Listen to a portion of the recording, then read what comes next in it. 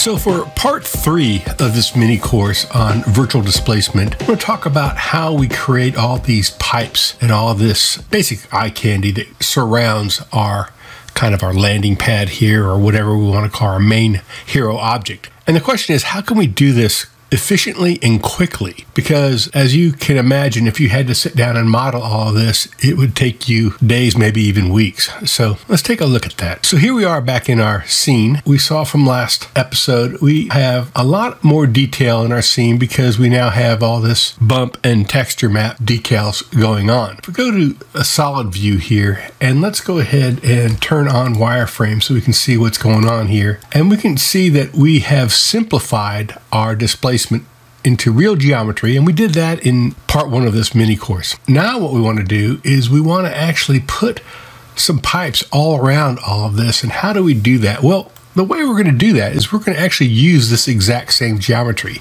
So what I'm going to do is I'm going to select it. I'll use the Shift D command to duplicate and move it off and then I'll right click and now I've dropped it back in the same place and now I've got this plane one, right? And now I'm going to go into local mode now. So now this is the only thing in here. And I'm going to go ahead and let's talk about our strategy. And our strategy is really going to be that I want to expand all this outward so that all the stuff goes outside of that. And I can use the displace modifier to do that. And then I'm going to want to use a wireframe modifier to actually create the pipes and the tubes in the pathways. But before we do that, one thing that I know that I don't want is I don't want pipes running all over this surface and all over some of the top level surfaces. So how do I fix that? Well, I'm going to go in here, I'm to tab in here, I'll go into my plane mode and I'm going to say select coplanar, right? So I can right click and make that a quick key. So, so that's what that does. So I can hit my Q button and make this go coplanar. So I'm going to select all the topmost objects and also I want to get a lot of the floor objects as well. So you can see this is what we've got. Let's go ahead and move this down a little bit more and take a look at this. Let's try that one too. Okay, and when I've done that, I'll hit the X key and I'm to delete the faces.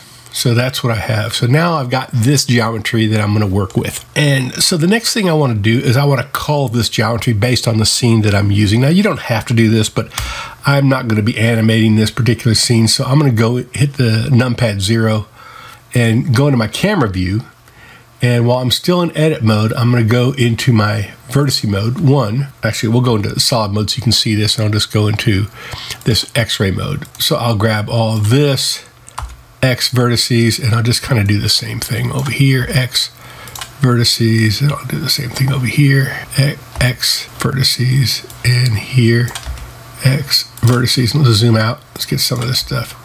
You may remember that previously in our camera, we had this passepartout. I'm not sure if that's the right name or not, but we turn that. So we can basically, I can turn that back down if I want to see if there's anything else out here. And it looks like we've got pretty much everything that we needed. So Okay, so let's go ahead and we'll move out of that. And this is really, you know, what we've got. Maybe grab some of this.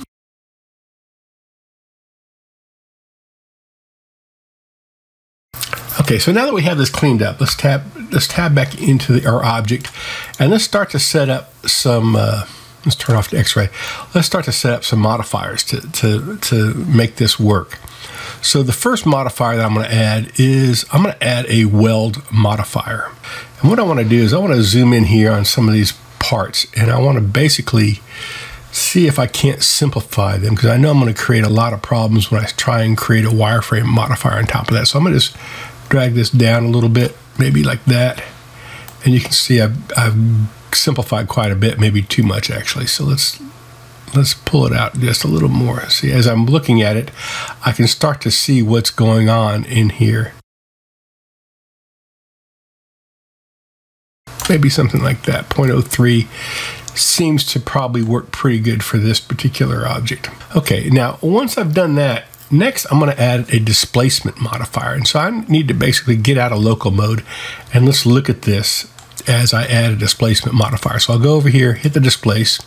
Whoa, that's crazy, crazy large. So with my displace, I'm going to use a strength of, let's try 0.015, something like that. And we'll see that, okay, so now you can see it's gotten bigger. And then let's look what else we have in here. We have the direction set to normal. I think we're pretty good on that. So the very next thing we're going to do is we're going to add a wireframe modifier on, the, on top of that. And whoa, that's gotten crazy too. So let's make the thickness uh, something like 0.1. And, you know, you might have to play around with these numbers to get what you want. But I'm going to say uh, that instead of even, I want to make this relative and I'm going to turn off even. So let's talk about this for a second. So when I put on relative, it means that all of these objects are going to be sized based on the relative size. So in tiny groupings like this, I'm going to get much tinier wireframes, and in larger ones like this, let's kind of go into let's let's go into local mode here. We can see it a little better. On the larger groupings, I'll get larger wireframes, and on the smaller groupings, I'll get smaller wireframes. Now, if I turn it on to even, and turn relative off, then I'm going to have to adjust this to something like 0.001, something like that. Now everything's exactly the same, right? So you can choose whichever you want. Uh, you may find that uh, one will suit you better than the other. For this one, I think I'm going to go ahead and I'm going to use relative at 0.1 and just, you know, stick with this. Now, one of the things that you're going to find out is that this will create some, you know, some kind of really weird and maybe even crappy geometry, you know, geometry that crosses over on itself, stuff like that. And so what that means is that when we get ready to render this, we may find that we get some unexpected smoothing artifacts. And so the way we solve that is, let me go ahead and let's uh, toggle the stack. And if you don't see this, by the way, you're going to want to use modifier tools, you know, turn that on. And that gives us these four buttons right here. And it's a really important for me at least. I use them all the time. And what I did is the toggle stack just collapses and expands everything. So what I'm going to do is I'm going to add one more modifier, and that's going to be a weighted normal on top of all of this. And it says enable auto smooth and object data properties. So I'm going to go into my vertex, go into my normals, and turn on auto smooth. And I'm probably going to make that maybe 90 because I kind of do want all these things to have more of a smooth effect to it. I don't I know that we're going to get some artifacting going on. It should be shaded smooth. It is, yeah. Um, and but still, even so, uh, I even might make it 180. Even so, I'm going to end up with the ability to fix a lot of that artifacting in this weighted normal. And I'll use face influence Okay, so let's go back to our scene and I'm going to pull this back up so we can look at our texture. And you can see there we have one of those issues I was talking about, and you can see that you, you will get some of those uh, as we go forward. So if you see this happening and we still aren't getting it fixed through the weighted normal, what we can do is we can adjust the material to fix it. So as we try and troubleshoot this glare issue, there's a couple things I'll point out. Uh, one is that this is already shaded flat and we really wanted to shade it smooth. And by shading it smooth, we're going to get a little better light dispersion because we don't have a really strong and large angle of dispersion for our glare. Another way to do it is to come down and look at the specular and you can also remove that using the specular if you have to. So those are a couple things. Now the other part is that remember that when you're in cycles, you're not going to get that same level of glare. It'll be a lot less pronounced. So that's something also to keep in mind. So as I'm looking at this, I actually went back in and I uh, adjusted this setting right here, this weld to 0.004 to get a little better, cleaner, some cleaner geometry around here. Sometimes you may have to do that. You may have to check, check that out and see how that works. Okay, so now that I have this set up the way I want it, the next thing to do is to uh, update the material settings for it. And so what I'm going to do is I'm going to copy the actual material. So with this selected, I'm going to make a copy of it. And I just hit this button, new material, and we're going to go B displace. So that's a brand new material for us. Okay, and so now that we have this new material, I'm gonna, let's just kind of look at it in this view here, and we'll basically turn off our show overlays. And I wanna adjust the amount of lights that are going on in here. And remember, this is the scale. If we zoom all the way out and we look at that, this is our dot grid, if you remember from our first session. And I'll just adjust this down. Let's say, let's go down to maybe 0.44, something like that. So basically it's it's uh, creating the dots that are a little bit smaller. And I think I'll go in here. Let's just create, you know, the colors a little differently. You can start to see that they're going to show up a little differently around here. And maybe instead of 10, let's make them five, make them a little smaller. So I'm going to go back to our original surface here let's go to the rendered area. And I want to, I, was kind of looking at this and thinking, I want a little bit more variation on here. So how can I do that? Well, really, I'm going to adjust the roughness.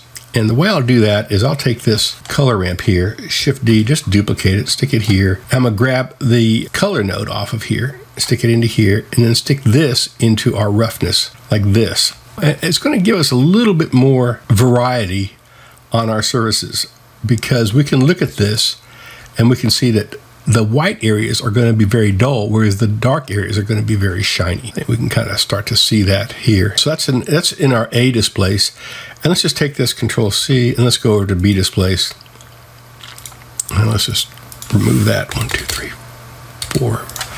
And let's paste it there and we'll do the exact same thing here in this color and we'll put that in the roughness. Oh, one other thing that I forgot to do is I need to also move the specular up a little bit to get some of that, that reflection area in there. So I'll just move that up to something like 0.4. Let's go back to, oh, this is a A displace, and we'll do the same thing, specular, like, you know, something like 0.4. Okay, so now we're starting to see that we, we're starting to get some more reflective areas. I mean, you can even look down here, look at these things. These are very reflective. Okay, so if we look at our second plane, which is this one here, this is our B displace, and this is our A displace. We have an A and a B displace material. And as I look at this, I've got quite a bit more geo, but I actually want to add a little bit more. So let's talk about that. So what I'm going to do is I'm going to take this plane 01, and I'm going to just say Shift D, and I'm going to move it.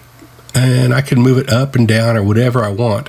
And there I have it. So I've added that. And now let's go ahead and go back into our rendered view and we'll start to see that, wow, that's, that's, that's even better. Uh, that's given us a lot more, except our lighting is now a little bit strange. So let's go ahead and fix that. So to fix that, I'm gonna go into my material preview mode, the EEVEE mode, because I can adjust lighting much quicker there and make sure that I've got this set up so scene lights and scene world are set. And then I'll select the sun and then hit RR twice and I'm going to move it around until I get something that I know that I'm going to like. So that looks a lot better. It's a little shallower for me, and I think that's going to work uh, work okay. So let's go ahead now and render this, and we start to see what we have. So actually, it might not be bad uh, a bad idea at this point to go ahead and do a quick a quick render.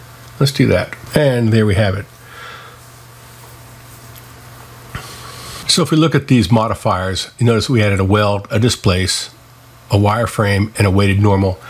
And there's some other things you could possibly do. There's other modifiers you could add. You could perhaps add a bevel, a vertex bevel, and create some more curves or rounded areas in those pipes. Another idea is consider playing around with a skin modifier, but be prepared. This can chew up and crash your machine really fast. So you don't want to try that on but a few faces at a single time. So that about covers it for this third part of our mini course on virtual displacement. Next, we'll focus on adding hero details as well as creating a more reality based render. And we also are going to spend some time in the compositor showing you how you can get some of these cinematic effects. Stay tuned, and we'll see you in the next part of the mini series.